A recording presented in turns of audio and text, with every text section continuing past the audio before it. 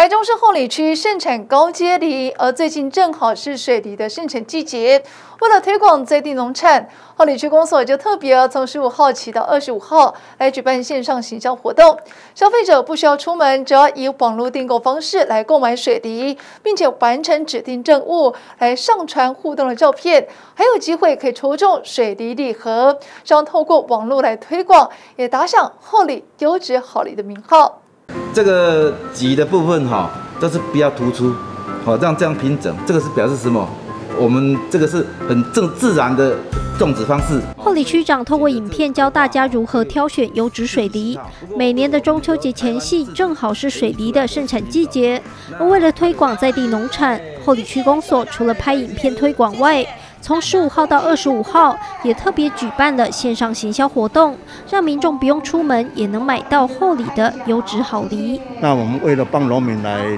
行销，来创造一个通路，所以我们今年呢改变过去的传统做法，透过原来一般的这样的一个市场的通路，改变成网络行销的通路。那这样的话，让民消费者呢可以通过网络。可以购买到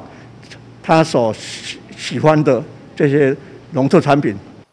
后里地区因为盛产高阶梨，除了一般的新兴梨跟风水梨等品种外，最近也力推新品种宝岛甘露梨，因为果实硕大又香甜多汁，深受市场喜爱。而为了刺激买气，公所也特别大手笔准备六百箱六粒装的水梨礼盒，民众只要完成购买并上传互动照片，就有机会免费抽中。第一就是你要削梨皮，第二吃一口梨，第三你要为我们的幕后英雄，哦，可以是你的爸爸妈妈，或是你周边的好朋友，